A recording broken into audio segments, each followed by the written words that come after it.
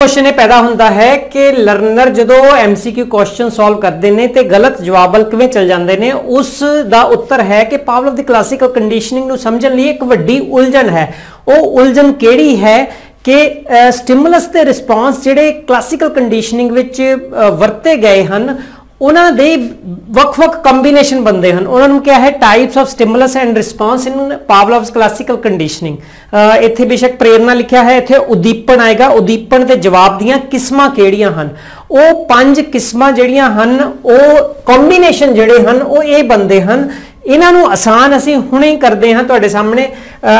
ਉਹ ਹਨ, ਇਸ ਦੀ ਐਬਰੀਵੇਸ਼ਨ ਸ਼ਾਰਟ ਫਾਰਮ ਹੈ ਲਿਖੀ ਹੈ। ਕਈ ਵਾਰ ਪ੍ਰਸ਼ਨ ਜਾਂ ਉੱਤਰ ਵਿੱਚ ਇਹ ਸ਼ਾਰਟ ਫਾਰਮ ਦਿੱਤੀ ਹੁੰਦੀ ਹੈ।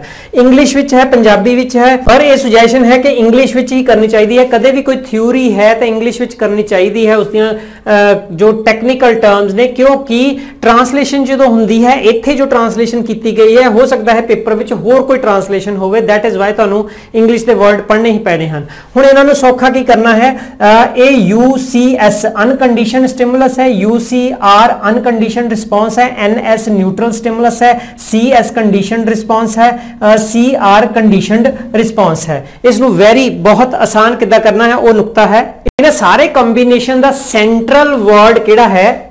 ਕੰਡੀਸ਼ਨਡ ਮੈਮਰੀ ਬੇਸਡ ਸਟ੍ਰੈਟਜੀ ਨੂੰ ਅਪਲਾਈ ਕਿੱਦਾਂ ਕਰਨਾ ਹੈ? ਮੈਂ ਕੀ ਸਟ੍ਰੈਟਜੀ ਬਣਾਈ ਹੈ ਕਿ ਜਿਹੜੀ C ਹੈ ਉਸ ਨੂੰ ਮੈਂ ਇਸ ਤਰ੍ਹਾਂ ਕਿਉਂ ਡਰਾ ਕੀਤਾ ਹੈ? ਕਿਉਂਕਿ ਇਸ ਨੂੰ ਤੋੜ ਕੇ ਬੜੀ ਅੱਛੀ, ਜਲਦੀ ਤਰ੍ਹਾਂ ਨਾਲ L ਬਣ ਸਕਦਾ ਹੈ। ਔਰ L ਨੂੰ ਮੈਂ ਲਰਨਡ ਲਿਖ ਲਿਆ। ਇਟ ਮੀਨਸ ਕੀ ਹੋਇਆ? ਕਿ ਕੰਡੀਸ਼ਨਿੰਗ ਅਨਕੰਡੀਸ਼ਨਿੰਗ ਜਿੱਥੇ ਵੀ ਸ਼ਬਦ ਆਉਂਦੇ ਹਨ ਸੀ ਨੂੰ ਮੈਂ ਇੱਕਦਮ ਐਲ ਸਮਝਣਾ ਹੈ ਔਰ ਐਲ ਦਾ ਮਤਲਬ ਹੈ ਲਰਨਡ ਇਟ ਮੀਨਸ ਕੰਡੀਸ਼ਨਡ ਦਾ ਮਤਲਬ ਹੋਇਆ ਲਰਨਡ ਬੇਸ਼ੱਕ ਉਹ ਸਟਿਮੂਲਸ ਹੋਵੇ, ਬੇਸ਼ੱਕ ਉਹ ਰਿਸਪਾਂਸ ਹੋਵੇ। ਬਸ ਤੁਸੀਂ ਸੀ ਨੂੰ ਐਲ ਵਿੱਚ ਜਲਦੀ ਸਮਝ ਲੈਣਾ ਹੈ ਆਪਣੇ ਦਿਮਾਗ ਵਿੱਚ। ਪੰਜਾਬੀ ਵਿੱਚ ਹੋਏਗਾ ਸਿੱਖਿਆ ਹੋਇਆ। ਹੁਣ ਇਸੇ ਨਾਲ ਹੀ ਤੁਲਨਾ ਕਰਕੇ ਤੁਲਨਾਤਮਕ ਇੱਕ ਮੈਥਡ ਹੁੰਦਾ ਹੈ। ਇਸੇ ਨਾਲ ਹੀ ਤੁਲਨਾ ਕਰਕੇ ਅਸੀਂ ਅਨਕੰਡੀਸ਼ਨ ਨੂੰ ਸਮਝ ਲਾਂਗੇ। ਔਰ ਇੱਥੇ ਮੈਂ ਪਹਿਲਾਂ ਹੀ ਜਾਣਦਾ ਹੈ, ਮੇਰੇ ਦਿਮਾਗ ਨੇ ਜਲਦੀ ਜਲਦੀ ਕੀ ਕਰਨਾ ਹੈ? C ਦਾ L ਬਣਾ ਕੇ ਲਰਨਡ ਬਣਾ ਲੈਣਾ ਹੈ। ਹੁਣ ਦੂਜੇ ਪਾਸੇ ਮੇਰੇ ਕੋ ਕੀ ਬਚਿਆ? ਅਨ ਅਨ ਨੂੰ ਮੈਂ ਇਸੇ ਤਰ੍ਹਾਂ ਲਿਖ ਲਿਆ ਅਨਲਰਨਡ ਪਰ ਅਨਲਰਨਡ ਤੇ ਨਾਟ ਲਰਨਡ ਵਿੱਚ ਫ਼ਰਕ ਹੈ। ਐਕਚੁਅਲ ਇਹਦਾ ਮੀਨਿੰਗ ਜਿਹੜਾ ਹੈ, ਉਹ ਐਨ ਨੂੰ ਤੁਸੀਂ ਚੱਕਣਾ ਹੈ ਬੇਸ਼ੱਕ। ਇੱਥੋਂ ਐਨ ਨੂੰ ਐਰੋ ਬਣਾ ਲਓ ਔਰ ਇੱਥੇ ਲਿਖ ਲਓ ਨਾਟ ਸੀ ਕੰਡੀਸ਼ਨਿੰਗ ਲਰਨਡ ਹੀ ਰਹੇਗਾ। ਦੂਸਰਾ ਐਨ ਨੂੰ ਚੱਕ ਕੇ ਜਿਹੜਾ ਇਸ ਨੂੰ ਡਿਫਾਈਨ ਕਰਨ ਲਈ ਮੇਜਰ ਟਰਮ ਹੈ, ਅਹ ਪਿੱਛੇ ਪਰਿਭਾਸ਼ਾਵਾਂ ਵਿੱਚ ਵੀ ਦੇਖ ਕੇ ਆਏ ਹਾਂ। ਨੈਚੁਰਲ ਬੇਸ਼ੱਕ ਸਟਿਮੂਲਸ ਹੋਵੇ ਰਿਸਪੌਂਸ ਹੋਵੇ। ਸੋ ਤੁਸੀਂ ਆਪਣੀ ਸਹੂਲਤ ਲਈ ਇੱਥੇ ਅਨਲਰਨਡ ਉਹਨੂੰ ਯਾਦ ਰੱਖ ਸਕਦੇ ਹੋ, ਲੇਕਿਨ ਕਨਸੈਪਟ ਅਨਲਰਨਡ ਵੱਖਰਾ ਹੈ, ਕਿਉਂਕਿ ਜਦੋਂ ਅਸੀਂ ਸਪੌਂਟੇਨੀਅਸ ਰਿਕਵਰੀ ਜਾਂ ਐਕਸਟਿੰਕਸ਼ਨ ਦੇ ਪ੍ਰਿੰਸੀਪਲ ਕਰਨੇ ਹੈ, ਉਦੋਂ ਅਨਲਰਨਿੰਗ ਦਾ ਕਨਸੈਪਟ ਪਾਵਲੋਵ ਨੇ ਦੇਣਾ ਹੈ। New education policy new education policy ਨੇ 2020 ਨੇ ਲਰਨ ਸ਼ਬਦ ਨਾਲ ਜੋੜ ਕੇ ਕਿੰਨੀਆਂ ਹੀ ਟਰਮਸ ਸਾਨੂੰ ਦਿੱਤੀਆਂ ਹਨ ਹਾਂ ਬੇਸ਼ੱਕ ਉਹ ਪਹਿਲਾਂ ਤੋਂ ਫੰਡਾਮੈਂਟਲ ਥਿਊਰੀਜ਼ ਨੇ ਯੂਜ਼ ਕੀਤੀਆਂ ਹਨ for example learn relearn unlearn learn to learn ਕਿਤੇ ਵੀ ਨਾਟ ਲਰਨਡ ਨਹੀਂ ਯੂਜ਼ ਕੀਤਾ ਗਿਆ ਜੋ ਕਿ ਕਲਾਸੀਕਲ ਕੰਡੀਸ਼ਨਿੰਗ ਵਿੱਚ ਮਤਲਬ ਬਣਦਾ ਹੈ ਸੋ ਸਾਡੇ ਲੌਜੀਕਲ ਟ੍ਰਿਕ ਕੀ ਹੋਏ? ਕਿ ਸਾਰੀ ਕੰਡੀਸ਼ਨਲ ਥਿਊਰੀ ਵਿੱਚ ਦੇਖੋ ਕਲਾਸੀਕਲ ਕੰਡੀਸ਼ਨਿੰਗ ਹੈ। ਇਟ ਮੀਨ ਕਲਾਸੀਕਲ ਲਰਨਿੰਗ ਹੈ। ਅਸੀਂ C ਨੂੰ L ਕਨਵਰਟ ਜਲਦੀ ਕਰ ਲੈਣਾ ਹੈ।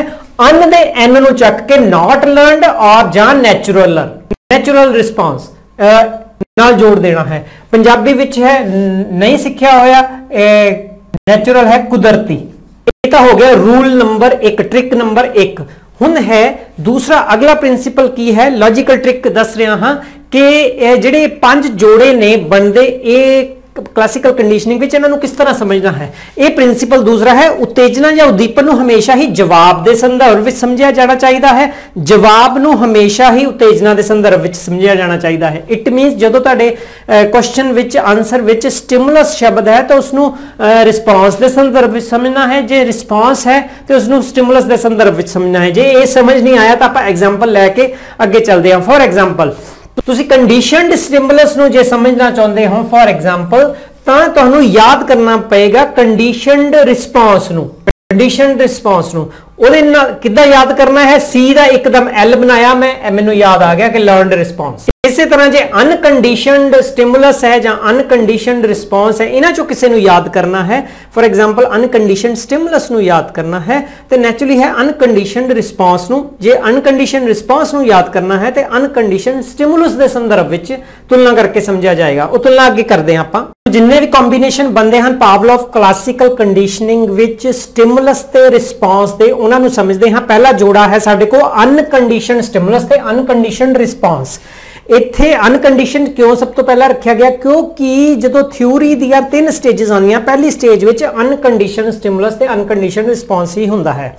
ਦੂਸਰੀ ਕਨਫਿਊਜ਼ਨ ਇਹ ਹੁੰਦੀ ਹੈ ਕਿ ਰਿਸਪੌਂਸ ਤਾਂ ਹਰ ਵਾਰੀ ਸਲਾਈਵੇਸ਼ਨ ਹੀ ਹੁੰਦਾ ਹੈ। ਸਾਨੂੰ ਕਿੱਦਾਂ ਪਤਾ ਲੱਗੇ ਕਿ ਇਹ ਸਲਾਈਵੇਸ਼ਨ ਕੰਡੀਸ਼ਨਡ ਹੈ ਜਾਂ ਅਨਕੰਡੀਸ਼ਨ ਹੈ? ਇਸ ਦਾ ਉੱਤਰ ਹੈ ਇਸ ਦਾ ਉੱਤਰ ਹੈ ਕਿ ਇਹ ਜੋ ਸਲਾਈਵੇਸ਼ਨ ਆਇਆ ਹੈ, ਉੱਤਰ ਆਇਆ ਹੈ ਰਿਫਲੈਕਸ ਆਇਆ ਹੈ, ਇਸ ਦਾ ਕਾਰਨ ਕੀ ਹੈ? ਜਾਂ ਇਸ ਦਾ ਸੰਬੰਧ ਕਿਸ ਸਟਿਮੂਲਸ ਨਾਲ ਹੈ, ਉਹ ਜਾਣਨਾ ਜ਼ਰੂਰੀ ਹੈ। ਜੇ ਤਾਂ ਉਹ ਸਟਿਮੂਲਸ ਅਨਕੰਡੀਸ਼ਨਡ ਹੈ, ਤੇ ਰਿਸਪਾਂਸ ਅਨਕੰਡੀਸ਼ਨਡ ਹੀ ਹੋਏਗਾ। ਉਹ ਕਿਵੇਂ ਪਤਾ ਲੱਗੇਗਾ? ਨੁਕਤਾ ਯਾਦ ਕਰਨ ਦਾ ਇਹ ਹੈ ਕਿ ਜੇ ਫੂਡ ਦਿੱਤਾ ਗਿਆ ਹੈ, ਮੰਨ ਲਓ ਐਮਸੀਕਿਊ ਵਿੱਚ ਫੂਡ ਦਾ ਉਹ ਸਾਡੇ ਕੋਲ ਹੈ, ਮੈਂ ਇੱਥੇ ਉਹ ਵੱਡਾ ਕਰਕੇ ਜਾਣਬੁੱਝ ਕੇ ਲਿਖ ਰਿਹਾ ਹਾਂ। ਤੁਸੀਂ ਇੱਕਦਮ ਉਸ ਨੂੰ ਜੋ ਜਿੱਦਾਂ ਮੈਂ ਇੱਥੇ ਕਰ ਰਿਹਾ ਹਾਂ ਕਾਪੀ ਤੇ ਤੁਸੀਂ ਉਦਾਂ ਹੀ ਕਰ ਸਕਦੇ ਹੋ। ਕੱਟ ਕਰ ਲਿਆ ਕੱਟ ਕਰਕੇ ਸਾਡੇ ਕੋਲ ਛੋਟਾ ਹਿੱਸਾ ਬਣਿਆ a ਵਾਲਾ। ਇੱਕ ਹੀ ਆਇਆ? U u ਦਾ ਮੇਰੇ ਕੋਲ ਆ ਗਿਆ ਅਨਕੰਡੀਸ਼ਨਡ ਦੂਸਰਾ ਨੁਕਤਾ ਜੋ ਪਹਿਲਾਂ ਡਿਸਕਸ ਕਰਕੇ ਆਏ ਹਾਂ, n ਨੂੰ ਇੱਧਰ ਲਿਖ ਲੈਣਾ ਹੈ। N ਦਾ ਬਣ ਗਿਆ not ਔਰ C ਦਾ ਪਹਿਲਾਂ ਹੀ ਅਸੀਂ ਜਾਣਦੇ ਹਾਂ, L ਇੱਕਦਮ ਬਣਾ ਲੈਣਾ ਹੈ, L E A R N E D not learned bond bond ਕਿਹਦਾ? ਸਟਿਮੂਲਸ ਦਾ ਤੇ ਇਹ ਰਿਸਪਾਂਸ ਦਾ। ਇੱਥੇ ਰਿਸਪਾਂਸ ਹੈ ਇਹ ਇੱਥੇ ਸਟਿਮੂਲਸ ਹੈ ਫੂਡ ਕਿ ਇਹਦਾ ਜੇ ਤਾਂ ਉਹ ਸੰਬੰਧ ਜਿਹੜਾ ਬੌਂਡ ਹੈ, ਇੱਥੇ ਬੌਂਡ ਲਿਖਣ ਲੱਗਾ ਹਾਂ, ਪੰਜਾਬੀ ਵਿੱਚ ਇਸ ਨੂੰ ਸੰਬੰਧ ਲਿਖ ਸਕਦੇ ਹੋ। ਜੇ ਤਾਂ ਸੰਬੰਧ ਉਹ ਨਾਟ ਲਰਨਡ ਹੈ, ਤਾਂ ਅਨਕੰਡੀਸ਼ਨਡ ਸਟਿਮੂਲਸ ਹੈ। ਹੋਰ ਨੁਕਤਾ, ਜੇ ਉਹ ਐਨ ਫॉर ਇੱਥੇ ਅਸੀਂ ਲਿਖ ਲਿਆ ਨੈਚੁਰਲ ਮਤਲਬ ਇਹ ਜਿਹੜਾ ਬੌਂਡ ਜਾਂ ਸੰਬੰਧ ਹੈ, ਜੇ ਨੈਚੁਰਲ ਹੈ, ਕੀ ਫੂਡ ਦਾ ਸੰਬੰਧ ਸਲਾਈਵੇਸ਼ਨ ਨਾਲ ਨੈਚੁਰਲ ਹੈ? ਯੈਸ ਉੱਤਰ ਯੈਸ ਕਿ ਜਦੋਂ ਹੀ ਕੋਈ ਫੂਡ ਅਸੀਂ ਦੇਖਦੇ ਹਾਂ ਪ੍ਰੋਵਾਈਡਰ ਸਾਨੂੰ ਭੁੱਖ ਲੱਗੀ ਹੋਵੇ। ਤੇ ਫੂਡ ਦੇਖਦੇ ਹਾਂ, ਸਾਡੇ ਮੂੰਹ ਵਿੱਚ ਲਾਲ ਟਪਕ ਪੈਂਦੀ ਹੈ ਗੋਲ ਗੱਪਾ ਦੇਖਦੇ ਹਾਂ, ਮੂੰਹ ਵਿੱਚ ਲਾਲ ਟਪਕ ਪੈਂਦੀ ਹੈ। ਬਿਜਲੀ ਦਾ ਸ਼ੌਕ ਲੱਗਦਾ ਹੈ, ਇੱਕਦਮ ਹੱਥ ਜਾਂ ਉਹ ਅੰਗ ਪਰੇ ਹਟਦਾ ਹੈ, ਤਵੇ ਤੱਤੇ ਤਵੇ ਨੂੰ ਹੱਥ ਲੱਗਦਾ ਹੈ, ਇੱਕਦਮ ਹੱਥ ਪਰੇ ਹਟਦਾ ਹੈ। ਨੱਕ ਵਿੱਚ ਇੱਕਦਮ ਕੁਝ ਲੱਗਦਾ ਹੈ ਸਟਿਮੂਲਸ ਹੁੰਦਾ ਹੈ ਤੇ ਨਾਲ ਹੀ ਛਿੱਕ ਆ ਜਾਂਦੀ ਹੈ। ਸੋ ਇਹ ਸਾਰੇ ਜਿਹੜੇ ਬੌਂਡ ਨੇ ਜਾਂ ਰਿਲੇਸ਼ਨਸ਼ਿਪ ਹੈ ਸਟਿਮੂਲਸ ਰਿਸਪੌਂਸ ਦੇ, ਇਹ ਨੈਚੁਰਲ ਹੈ। ਜਦੋਂ ਨੈਚੁਰਲ ਹਨ, ਅਸੀਂ ਸਿੱਖੇ ਹੋਏ ਨਹੀਂ ਹਨ ਦੂਜਾ ਨੁਕਤਾ, ਤਾਂ ਉਹ ਅਨਕੰਡੀਸ਼ਨਡ ਸਟਿਮੂਲਸ ਤੇ ਅਨਕੰਡੀਸ਼ਨਡ ਰਿਸਪੌਂਸ ਹੀ ਹੋਏਗਾ। ਸੋ ਇਹਨਾਂ ਨੂੰ ਆਪਸ ਸੰਬੰਧ ਵਿੱਚ ਹੀ ਸਮਝਿਆ ਜਾ ਸਕਦਾ ਹੈ। ਤੁਸੀਂ ਜਲਦੀ ਨੁਕਤਾ ਇਹ ਅਪਲਾਈ ਕਰਨਾ ਹੈ ਕਿ UNC ਇਹਦੇ ਵਿੱਚੋਂ ਦੇਖਣਾ ਹੈ UN ਹੈ ਤੇ ਨਾਟ ਲਰਨਡ ਹੈ ਔਰ ਇਹ C ਹੈ ਕੱਲਾ ਸੀ ਹੈ ਤੇ ਉਹ ਲਰਨਡ ਹੈ। ਨਾਟ ਲਰਨਡ ਸੰਬੰਧ ਨੈਚੁਰਲ ਸੰਬੰਧ, ਕੁਦਰਤੀ ਸੰਬੰਧ। ਅੱਛਾ, ਇਹੀ ਇਸ ਦੀ ਪਰਿਭਾਸ਼ਾ ਹੋਏਗੀ ਉਸ ਨੂੰ ਨੋਟ ਕਰ ਸਕਦੇ ਹਾਂ। U C S unconditioned stimulus stimulus that naturally again ਨਾ, elicit automatic response, cause a response without any prior learning, ਉਤੇਜਨਾ ਜੋ ਕਿ ਕੁਦਰਤੀ ਤੌਰ ਤੇ ਇੱਕ ਆਟੋਮੈਟਿਕ ਜਵਾਬ ਪੈਦਾ ਕਰਦੀ ਹੈ, ਬਿਨਾਂ ਕਿਸੇ ਪੂਰਵ ਸਿੱਖਿਆ ਦੇ ਨਾਟ ਲਰਨਿੰਗ ਕੀਤਾ ਸੀ, ਦੇ ਜਵਾਬ ਦਾ ਦਾ ਕਾਰਨ ਬਣਦਾ ਹੈ, ਜਿਹੜਾ stimulus unconditioned response not learned natural automatic reaction to a stimulus ਔਰ ਨਹੀਂ ਆਏਗਾ। ਰਿਫਲੈਕਸਿਵ ਔਰ ਇਨਵੋਲੰਟਰੀ ਰਿਫਲੈਕਸਿਵ ਰਿਫਲੈਕਸ ਹਮੇਸ਼ਾ ਹੀ ਪਾਵਲੋਵ ਨਾਲ ਜੁੜਦਾ ਹੈ, ਇਹੀ ਇੱਕ ਥਿਊਰੀ ਹੈ, ਜਿਸ ਨਾਲ ਰਿਫਲੈਕਸ ਬਾਰ-ਬਾਰ ਜੁੜਦਾ ਹੈ। ਰਿਫਲੈਕਸ ਥਿਊਰੀ ਇਸੇ ਲਈ ਸ਼ਾਇਦ ਇਸ ਨੂੰ ਕਿਹਾ ਜਾਂਦਾ ਹੈ। ਸ਼ਾਇਦ ਨਹੀਂ ਜ਼ਰੂਰ ਕਿਹਾ ਜਾਂਦਾ ਹੈ। ਰਿਫਲੈਕਸਿਵ ਹੈ, ਦੂਸਰਾ ਇਨਵੋਲੰਟਰੀ ਦੂਸਰਾ ਰਿਸਪੌਂਸ ਹੈ। ਇੱਥੇ ਇਨਵੋਲੰਟਰੀ ਤੁਹਾਡੀ ਇੱਛਾ ਤੋਂ ਬਿਨਾਂ ਹੀ ਰਿਸਪੌਂਸ ਆ ਗਿਆ। ਛਿੱਕ ਤੁਹਾਡੀ ਇੱਛਾ ਤੋਂ ਬਿਨਾਂ ਹੀ ਆ ਗਈ। ਤੇ ਤਵੇ ਤੋਂ ਹੱਥ ਇੱਕਦਮ ਤੁਹਾਡੀ ਇੱਛਾ ਤੋਂ ਬਿਨਾਂ ਹੀ ਹਟ ਗਿਆ। ਹਨਾ? ਗੋਲ ਗੱਪਾ ਦੇਖਿਆ ਇੱਕਦਮ ਤੁਹਾਡੀ ਇੱਛਾ ਤੋਂ ਬਿਨਾਂ ਹੀ ਆ ਗਿਆ। ਕਿਉਂ ਇਹ ਕਿਉਂ ਬਾਰ-ਬਾਰ ਜ਼ਿਕਰ ਕਰ ਰਹੇ ਹਾਂ ਕਿਉਂਕਿ ਜੋ ਸਕਿਨਰ ਦੀ ਥਿਊਰੀ ਕਰਨੀ ਹੈ, ਜੋ ਥੌਰਨਡਾਈਕ ਦੀ ਥਿਊਰੀ ਕਰਨੀ ਹੈ ਉਦੋਂ ਇਹ ਵੋਲੰਟਰੀ ਰਿਸਪੌਂਸ ਬਣ ਜਾਣਾ ਹੈ, ਤੁਸੀਂ ਇੱਛਾ ਨਾਲ ਰਿਸਪੌਂਸ ਕਰੋਗੇ। ਕੀ ਹੈ? ਅਨਕੰਡੀਸ਼ਨ ਰਿਸਪੌਂਸ ਨਹੀਂ ਸਿੱਖਿਆ, ਕੁਦਰਤੀ ਤੌਰ ਤੇ ਵਾਪਰਨ ਵਾਲਾ ਆਟੋਮੈਟਿਕ ਜਵਾਬ। ਨੈਕਸਟ ਹੈ ਸਾਡੇ ਕੋਲ ਸਾਊਂਡ ਆਫ ਬੈਲ ਤੇ ਕੋਈ ਰਿਸਪੌਂਸ ਨਹੀਂ ਹੈ। ਲਰਨ ਕੀ ਕਰਨ ਲੱਗੇ ਹਾਂ? Neutral stimulus no target response neutral stimulus ਸਭ ਤੋਂ ਜ਼ਿਆਦਾ ਕਨਫਿਊਜ਼ ਕਰਦਾ ਹੈ ਕਿਉਂਕਿ ਇੱਕ ਸਟੇਜ ਨਾਲ ਸੰਬੰਧਿਤ ਹੈ। ਤਿੰਨ ਸਟੇजेस ਹਨ ਬਿਫੋਰ ਕੰਡੀਸ਼ਨਿੰਗ ਮਤਲਬ ਸੀ ਆਇਆ ਬਿਫੋਰ ਲਰਨਿੰਗ ਫਿਰ ਡਿਊਰਿੰਗ ਕੰਡੀਸ਼ਨਿੰਗ ਮਤਲਬ ਕਿ learning process number 3 after conditioning ਜਦੋਂ ਬਿਫੋਰ ਕੰਡੀਸ਼ਨਿੰਗ ਜਾਂ ਹਾਂ ਬਿਫੋਰ ਕੰਡੀਸ਼ਨਿੰਗ ਤੁਸੀਂ ਬੈਲ ਦਿੰਦੇ ਹੋ ਤੇ ਕੋਈ ਰਿਸਪੌਂਸ ਨਹੀਂ ਆਂਦਾ ਉਦੋਂ ਉਹ ਬੈਲ ਜਿਹੜੀ ਹੈ ਨਿਊਟਰਲ ਸਟਿਮੂਲਸ ਹੈ। ਬੈਲ ਦੀ ਜਗ੍ਹਾ ਤੇ ਤੁਸੀਂ ਟੀਚਰ ਪਾਵਲੋਵ ਕਲੈਪ ਵੀ ਯੂਜ਼ ਕਰ ਸਕਦਾ ਸੀ, ਵਿਸਲ ਵੀ ਯੂਜ਼ ਕਰ ਸਕਦਾ ਸੀ ਬਲਬ ਵੀ ਯੂਜ਼ ਚਲੋ ਉਹਨਾਂ ਨੇ ਕੀਤਾ ਹੈ। ਜਿਹੜਾ ਮਰਜ਼ੀ ਸਟਿਮੂਲਸ ਯੂਜ਼ ਕਰਦਾ ਸਕਦਾ ਸੀ, ਜਿਹਦਾ ਨਾਲ ਕੋਈ ਸੰਬੰਧ ਸਲਾਈਵੇਸ਼ਨ ਜਾਂ ਟਾਰਗੇਟ ਰਿਸਪੌਂਸ ਦਾ ਨਹੀਂ ਹੈ। ਹੁਣ ਯਾਦ ਕਰਨ ਦਾ ਤਰੀਕਾ ਦੇਖਣਾ ਹੈ। ਇੱਥੇ ਸਾਊਂਡ ਆਫ ਬੈਲ ਮੈਂ ਪੂਰਾ ਲਿਖਿਆ ਹੈ। ਕੱਲੀ ਬੈਲ ਨਹੀਂ ਹੁੰਦੀ ਸਾਊਂਡ ਆਫ ਬੈਲ ਹੀ ਆਣਾ ਹੈ। ਕੀ ਹੈ? ਜਾਂ ਇਸ ਨੂੰ ਤੁਸੀਂ ਦੂਸਰਾ ਲਿਖ ਸਕਦੇ ਹੋ ਬੈਲ ਟੋਨ ਇਹ ਵੀ ਲਿਖ ਸਕਦੇ ਹੋ। ਇਹ ਇਸ ਤਰ੍ਹਾਂ ਵੀ, ਠੀਕ? ਇਹ ਯਾਦ ਕਰਨ ਦਾ ਤਰੀਕਾ ਦੱਸਣ ਲੱਗਾ ਹੈ ਨਿਊਟਰਲ ਸਟਿਮੂਲਸ ਨੂੰ।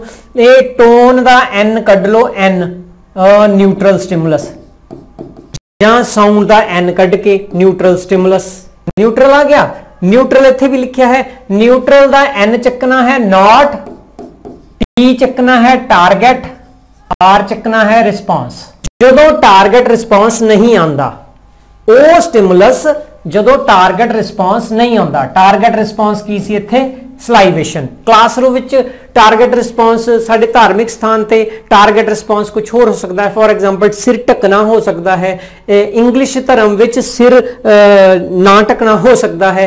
ਸੋ ਇਹ ਸਿਚੁਏਸ਼ਨ ਦੇ ਮੁਤਾਬਕ ਟਾਰਗੇਟ ਰਿਸਪੌਂਸ ਚੇਂਜ ਹੁੰਦਾ ਰਹੇਗਾ ਜਿਸ ਨੂੰ ਅਸੀਂ ਡਿਜ਼ਾਇਰੇਬਲ ਰਿਸਪੌਂਸ ਵੀ ਕਹਿ ਦਿੰਦੇ ਹਾਂ।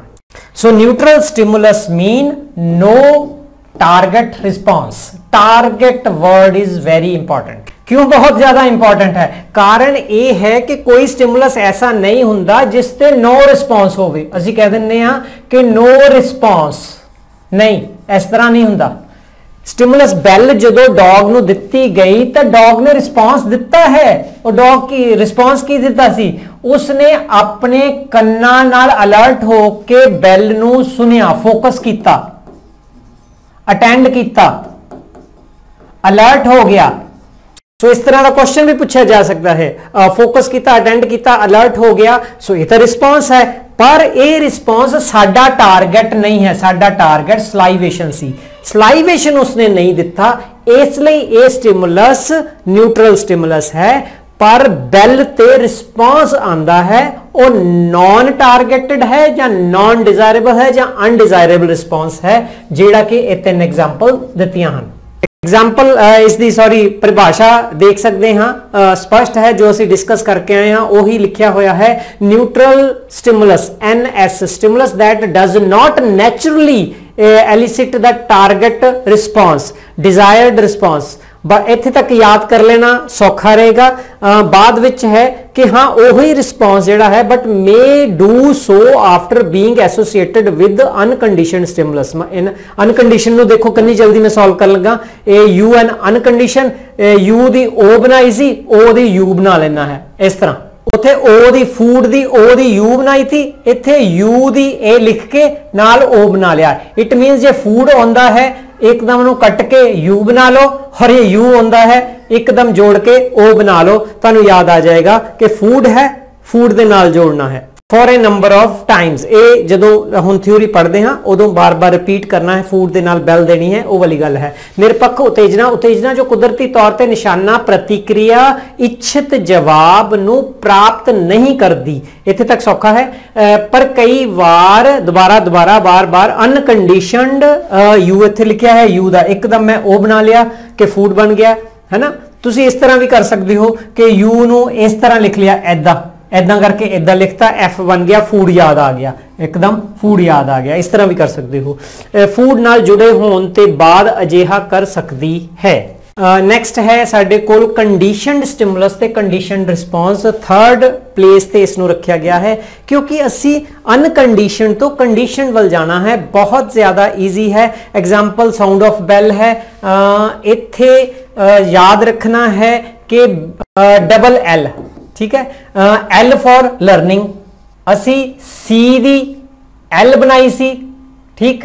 ਸੀ ਦੀ ਕੀ ਬਣਾਈ ਸੀ? ਐਲ ਬਣਾਈ ਸੀ। ਹੁਣ ਐਲ ਦੀ ਅਸੀਂ ਇੱਕਦਮ ਸੀ ਬਣਾ ਲੈਣੀ ਹੈ। ਜਿੱਦਾਂ ਉੱਥੇ O ਦਾ U ਬਣਾ ਲਿਆ ਹੈ U ਦਾ O ਬਣਾ ਲਿਆ ਹੈ। ਸੋ L ਜਿੱਥੇ ਆਇਆ, ਇੱਕਦਮ C ਯਾਦ ਕਰ ਲਈ। C ਦਾ ਮਤਲਬ ਹੈ ਕੰਡੀਸ਼ਨਿੰਗ ਸੋ ਬੈਲ ਦੀ L ਤੋਂ ਲਰਨਿੰਗ ਔਰ L ਤੋਂ ਕੰਡੀਸ਼ਨਿੰਗ ਔਰ ਕੰਡੀਸ਼ਨ ਤੋਂ ਫਿਰ ਲਰਨਡ ਸਟਿਮੂਲਸ ਲਰਨਡ ਰਿਸਪਾਂਸ ਮਤਲਬ ਕਿ ਸਟਿਮੂਲਸ ਤੇ ਰਿਸਪਾਂਸ ਦਾ ਬੌਂਡ ਜਦੋਂ ਕਿ ਸੰਬੰਧ ਪੰਜਾਬੀ ਵਿੱਚ ਜਦੋਂ ਲਰਨਡ ਹੋਵੇ, ਸਿੱਖਿਆ ਹੋਵੇ ਨੈਚੁਰਲ ਨਾ ਹੋਵੇ। ਫੂਡ ਨਾਲ ਨੈਚੁਰਲ ਸੀ ਬੈਲ ਨਾਲ ਨੈਚੁਰਲ ਨਹੀਂ ਸੀ।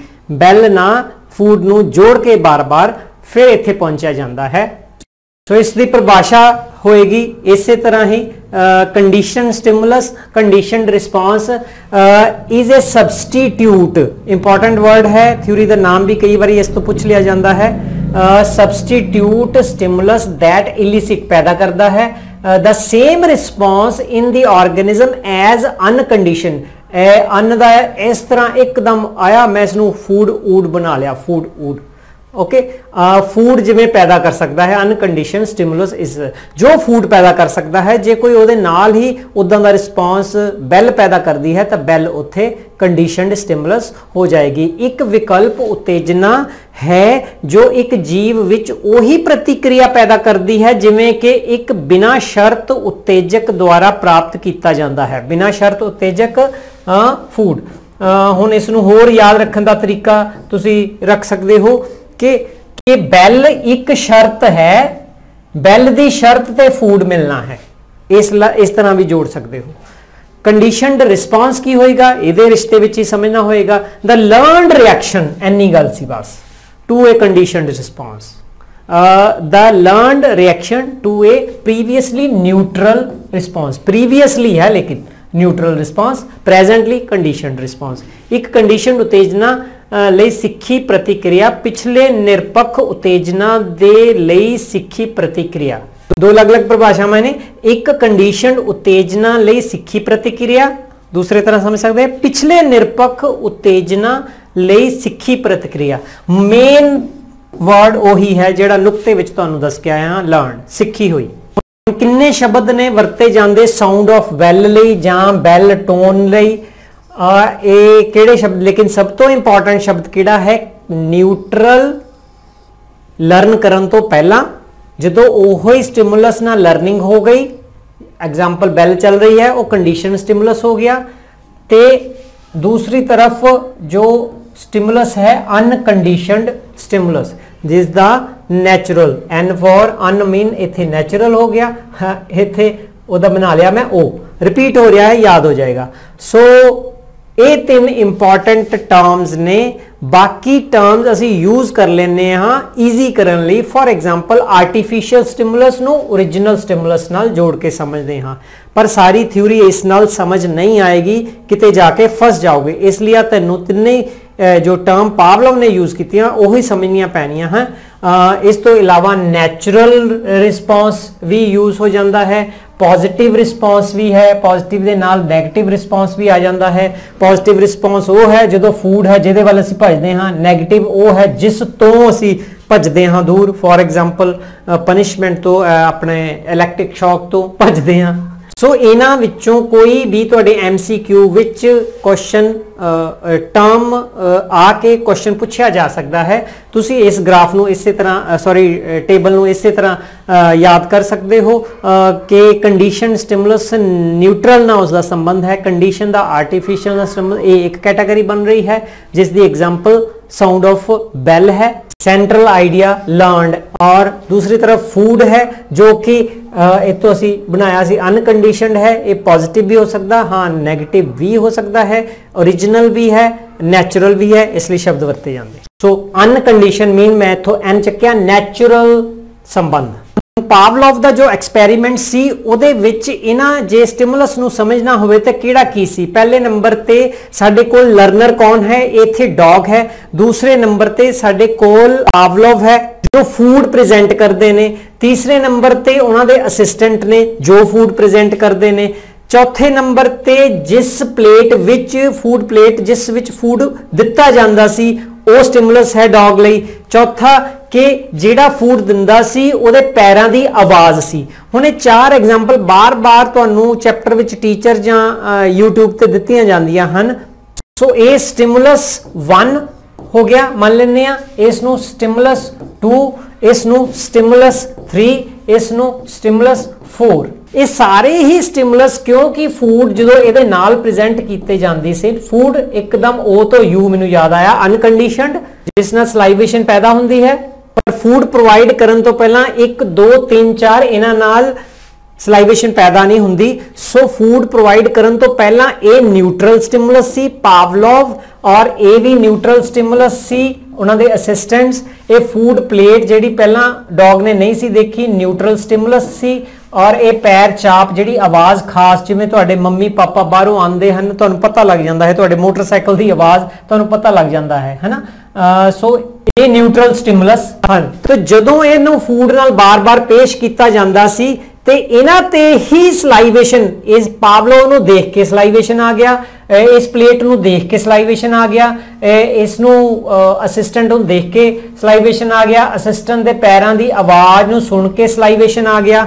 ਸੋ ਉਦੋਂ ਇਹੀ ਚਾਰੇ ਕੰਡੀਸ਼ਨਡ ਸਟਿਮੂਲਸ ਬਣ ਗਏ। ਪਾਵਲੋਵ ਵੀ ਕੰਡੀਸ਼ਨਡ ਸਟਿਮੂਲਸ ਸੀ ਅਸਿਸਟੈਂਟ ਵੀ ਕੰਡੀਸ਼ਨਡ ਸਟਿਮੂਲਸ ਬਣ ਗਿਆ ਪਲੇਟ ਫੂਡ ਪਲੇਟ ਵੀ ਕੰਡੀਸ਼ਨਡ ਸਟਿਮੂਲਸ ਬਣ ਗਿਆ ਔਰ ਪੈਰ ਚਾਪ ਵੀ ਕੰਡੀਸ਼ਨਡ ਸਟਿਮੂਲਸ ਬਣ ਗਿਆ। ਕਿਉਂਕਿ ਇਹ ਦਖਲ ਦਿੰਦੇ ਸਨ, ਹੁਣ ਜੋ ਐਕਸਪੈਰੀਮੈਂਟ ਆ ਰਿਹਾ ਹੈ, ਉਸ ਵਿੱਚ ਇਹਨਾਂ ਨੂੰ ਰਿਮੂਵ ਕਰ ਦਿੱਤਾ ਜਾਏਗਾ। ਹੁਣ ਦੇਖਦੇ ਹਾਂ ਕਿ real experiment of classical conditioning by Pavlov